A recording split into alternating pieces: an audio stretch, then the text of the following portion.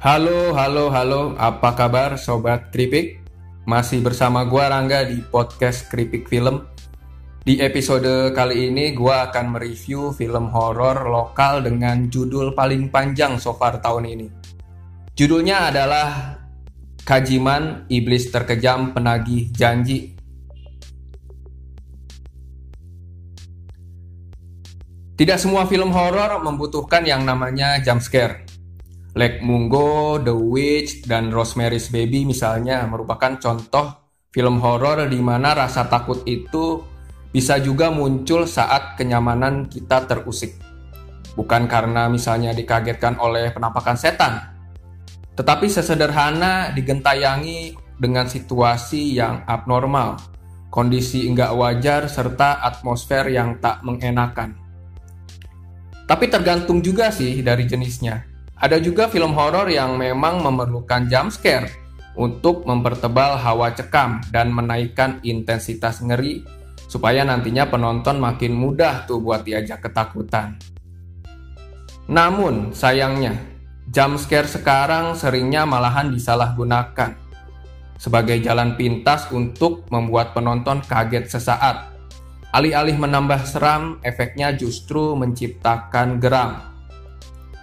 Tengoklah horor lokal yang gemar merusak fungsi jumpscare akibat persekutuan antara nihilnya kemauan serta ketiadaan skill si pembuatnya. Modalnya hanya membariskan penampakan setiap 10 menit sekali.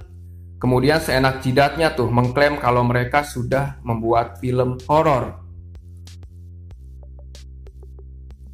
Kajiman menurut gua adalah sebuah anomali di tengah himpitan sinema dedemit berwajah sampah.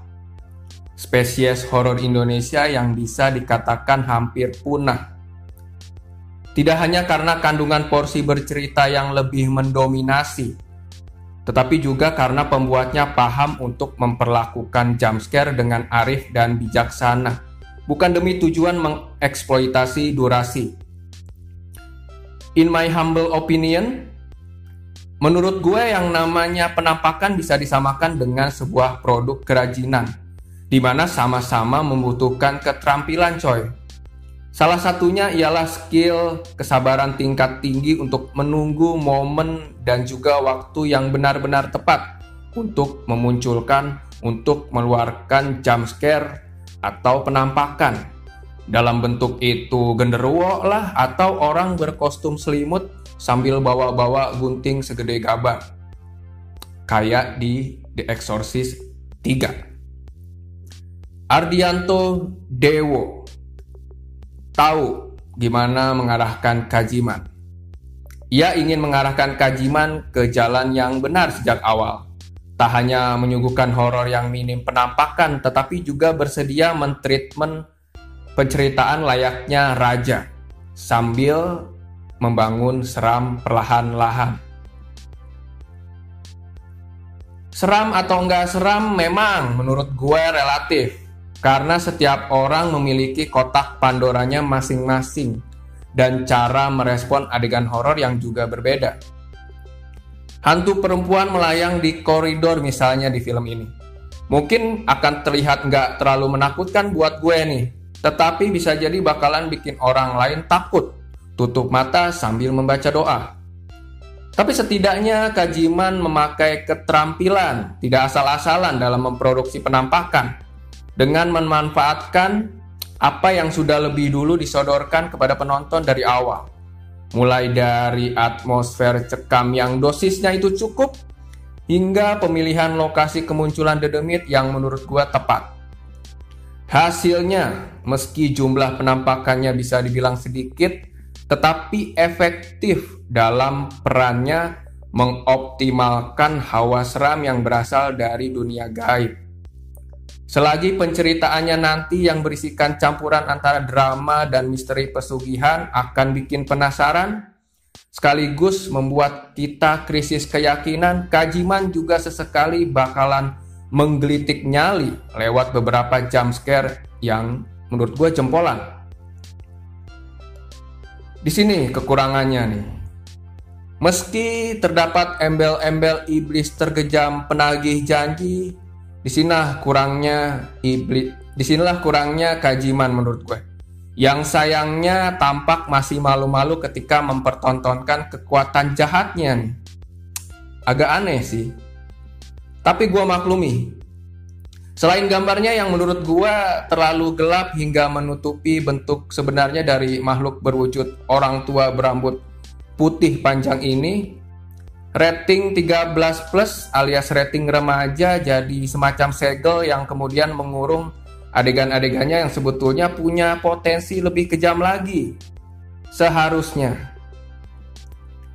Terlepas kekurangannya di bagian teknis dan dialognya yang terkadang menurut gue terlalu banyak menjelaskan karena gue tipikal orang yang suka lebih suka film horor itu sedikit menjelaskan, biarkan penonton, biarkan gue yang menyimpulkan sendiri.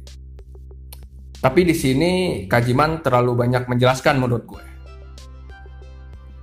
Tapi terlepas dari kekurangan tersebut, Kajiman tetap sanggup menghadirkan kisah horor yang begitu mengerikan tentang manusia-manusia yang telah dikuasai oleh nafsu setan. Belum lagi upaya ngehe Kajiman untuk membuat gue bolak-balik ragu yang mengingatkan sama The Wailing semakin membangkitkan daya tarik film yang dibintangi oleh Mian Tiara ini. Lakonnya sebagai Mbak Rum sungguh tai lah. Pesona aktingnya bagai jampi-jampi yang memperdaya kita untuk kagum kepadanya. Kajiman menurut gua so far adalah film horor lokal, horor Indonesia terbaik tahun 2023 ini.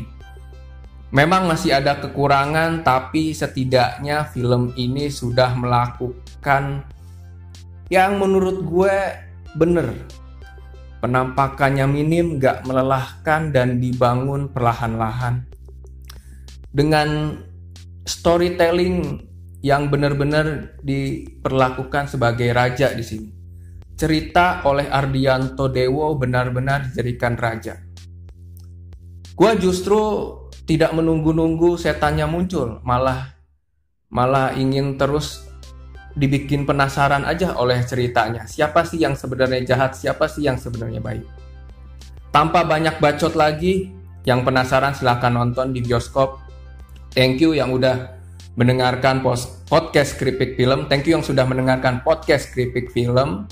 Jangan lupa di follow di Spotify dan juga sub subscribe di YouTube. Gua Rangga, thank you. Ciao, ciao, ciao, ciao, ciao.